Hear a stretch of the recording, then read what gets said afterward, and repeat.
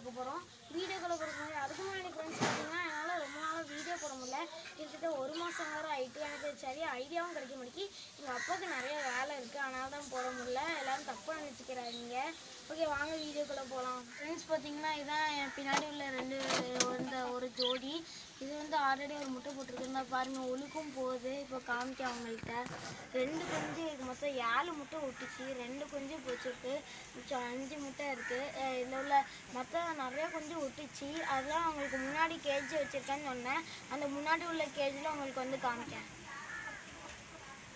Friends பார்த்தீங்கன்னா இதான் என் முன்னாடி உள்ள கேஜி இதில் வந்து மொத்தம் பதினஞ்சு லவ் பேர்ட்ஸ் இருக்குது அதில் எல்லா லவ் பேர்ட்ஸுமே நான் பின்னாடி இருந்து அந்த ஒரு ஜோடி காமிச்சேன் பார்த்தீங்களா அதுலேருந்து தான் நான் அவ்வளோத்தையும் எடுத்து இந்த முன்னாடி உள்ள பெரிய கேஜியில் போட்டிருக்கேன். அது ஜோடி சேர்ந்தனால அங்கேயே வச்சுருக்கேன். மற்ற எல்லாத்தையும் இங்கே பெரிய கேஜிலே விட்டுட்டேன்.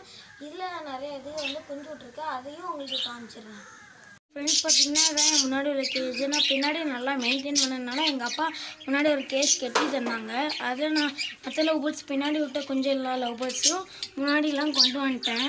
இதுலேயும் சொல்லது ஜோடி சேர்ந்துருக்கு ஃபஸ்ட்டு கேஜை பார்த்துடலாம் இது பாருங்க இங்கே ரெண்டு குஞ்சு இருக்குது. இதில் ஒன்று மட்டும் கொஞ்சம் வளரல. ஆனால் ஃபீட் பண்ணிகிட்டு இருக்குது ரெண்டுமே.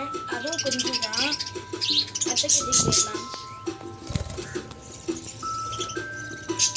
பார்த்தீங்கன்னா மூணு இருக்குது. ஒன்று கொஞ்சம் நல்லா அந்த சைடு வளர்ந்துருக்குது. மற்ற ரெண்டுமே கொஞ்சம் குட்டியாக தான் இருக்குது.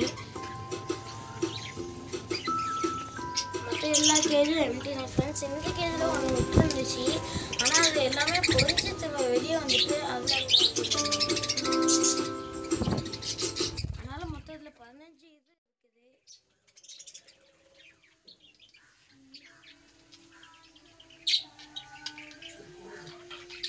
ஃப்ரெண்ட்ஸ் இப்போ லவ் பேர்ட்ஸ் எப்படி மெயின்டைன் பண்ணலான்னு பார்க்கலாம். ஃபஸ்ட்டு கனவாக தோடு வச்சுக்கோங்க. நெக்ஸ்ட்டு இறை இது வந்து நான் தண்ணியும் எப்போவுமே காலில் மாற்றிடுவேன் காலில் நெக்ஸ்ட்டு இறை மாற்றிடுவேன் எப்போவுமே அது போடுற அந்த தினை போடுறோம் பார்த்தீங்களா? அதில் உள்ள அந்த அந்த தொலிலாம் உரிச்சிட்டு அது சைடில் போட்டுரும். அது காற்றுக்கு பறந்து நிற்கும் அதை எப்போவுமே க்ளீன் பண்ணிடுவேன் இந்த டிப்ஸ் மட்டும் போதும் ஃப்ரெண்ட்ஸ் நெக்ஸ்ட் வீடியோவில் பார்க்குற வரைக்கும் தேங்க்யூ ஃப்ரெண்ட்ஸ்